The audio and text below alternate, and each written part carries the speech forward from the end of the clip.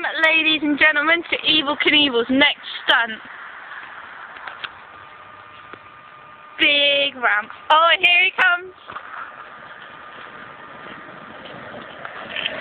Will he make it?